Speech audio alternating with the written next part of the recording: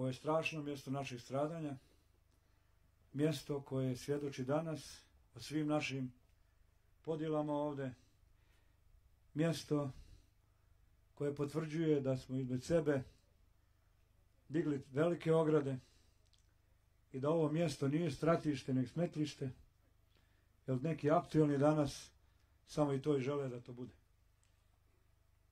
I naš dolazak ovdje, moje stajanje pred vama, je dodatno poniženje i dodatno podcjenjivanje.